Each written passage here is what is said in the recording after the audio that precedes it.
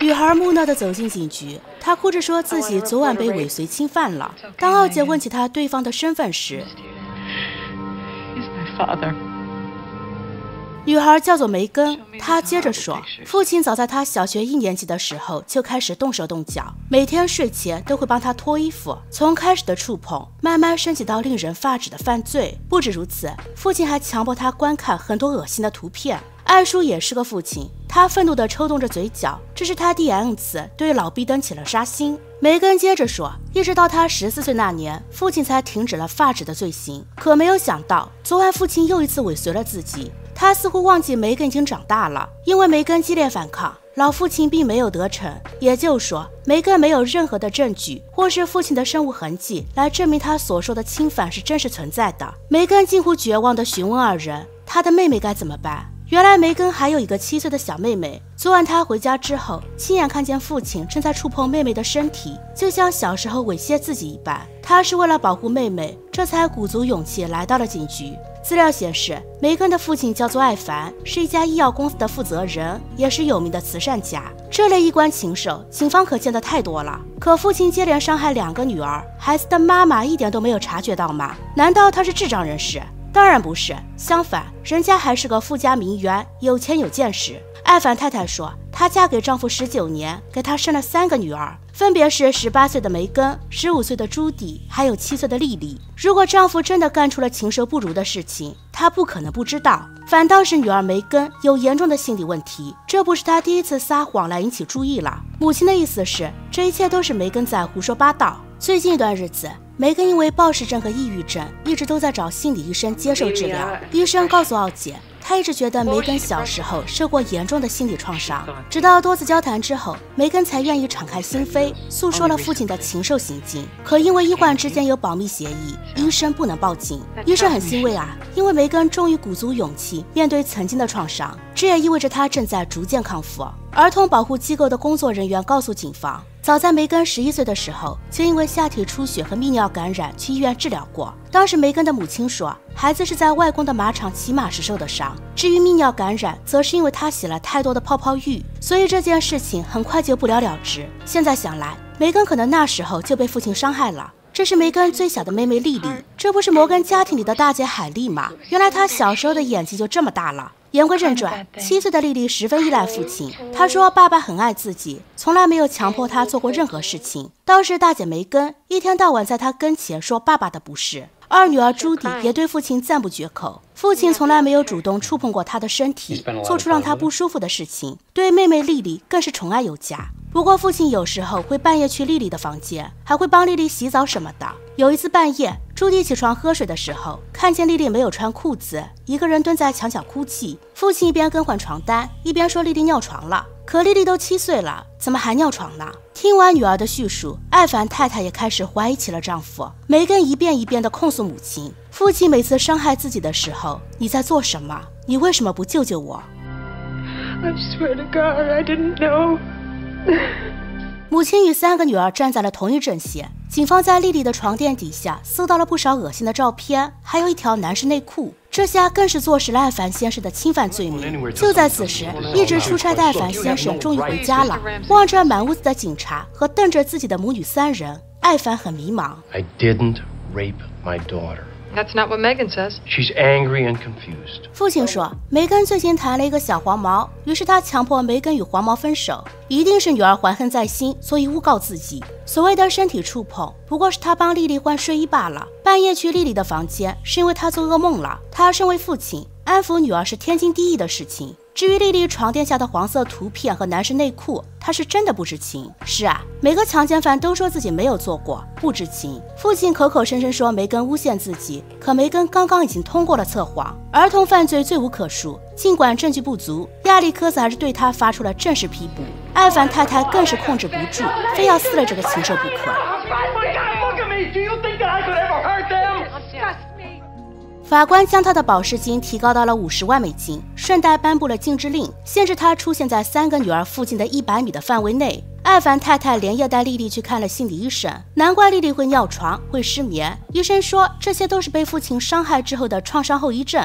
可丽丽直到现在都不愿开口，她很爱父亲，不希望父亲被抓起来。没有丽丽的口供，就无法给艾凡定罪。实验室分析了丽丽床垫下的色情照片，这些照片的打印日期是上周二。可上周二的艾凡正在巴尔的摩出差呢，哪来的时间打印照片啊？并且艾凡的电脑非常干净，除了生意就是生意，没有一点下载过照片的痕迹。警方联系了因特网服务供应商，得知照片的下载地址居然是梅根的大学图书馆。原来是梅根故意将照片和内裤塞在了丽丽的床垫底下，想要陷害父亲。梅根说，他这么做是迫不得已，父亲实在是太有钱、太有势力了。他威胁说要告梅根的心理医生，还说要把梅根送进精神病院。没有人会相信他的。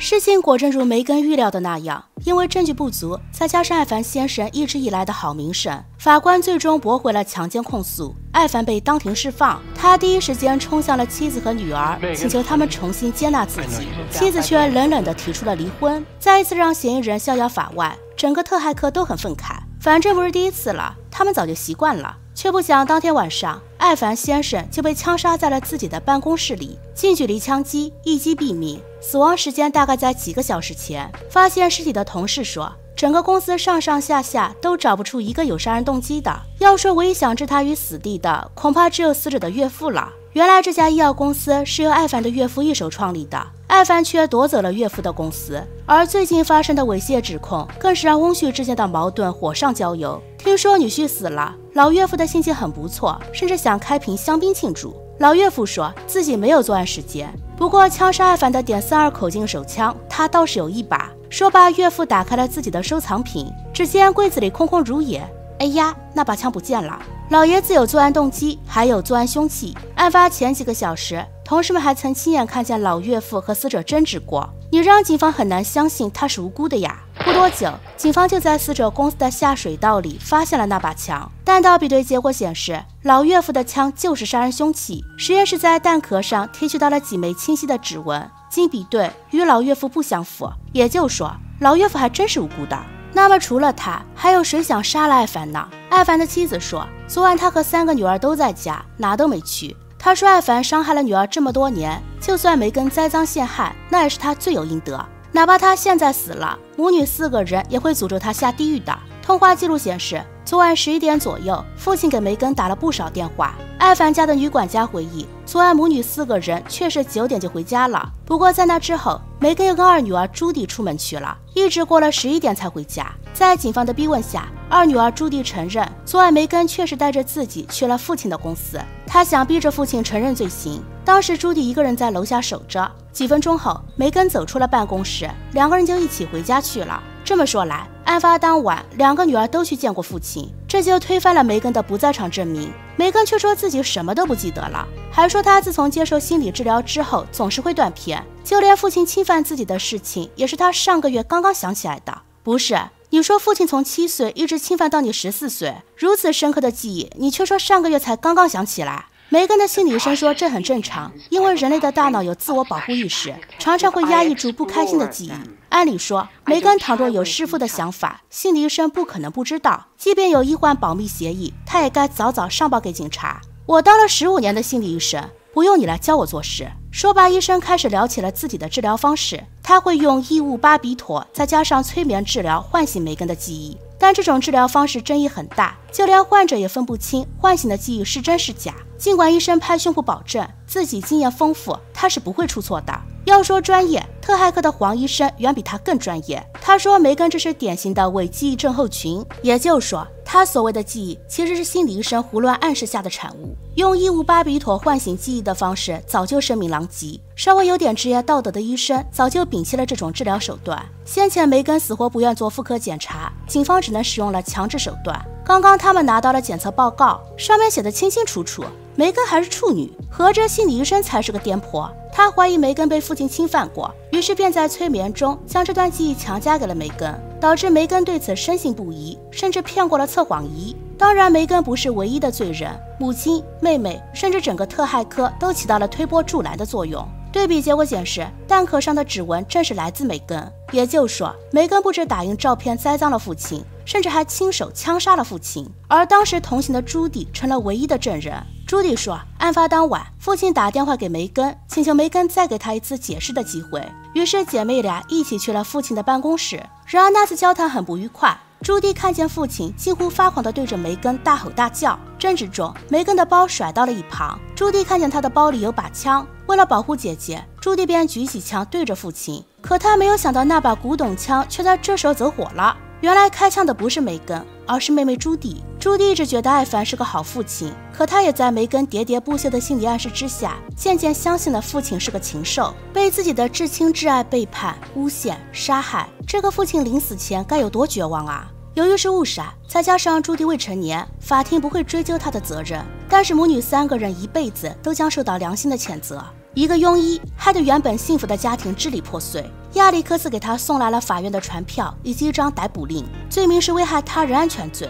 医疗协会已经吊销了他的行医执照。你真是比忽必烈还多一列，整天忽必烈烈，去监狱里好好反省吧你。本集故事到此结束。心理医生的扮演者是一九七六年托尼奖最佳女主雪莉奈特。奶奶年轻时很漂亮的。她曾凭借《春浓满楼情痴狂》和《楼顶的黑暗》两次获得奥斯卡最佳女配提名。二零零五年，她在《绝望主妇》中饰演雷克斯的妈妈。二零二零年，奶奶在家中去世，享年八十三岁。艾凡太太的扮演者是著名女星艾米·欧文，她也是一九七六年版《魔女佳丽》中的苏·斯内尔。一九八五年，欧文嫁给了大导演史蒂文·斯皮尔伯格，并生下了两个儿子。然而，这段婚姻仅仅维持了四年。一九八九年，夫妻俩协议离婚时，欧文获得了大约一亿美金的赡养费。我是可乐，感谢您的收看，您的支持就是我坚持下去的动力。谢谢大家。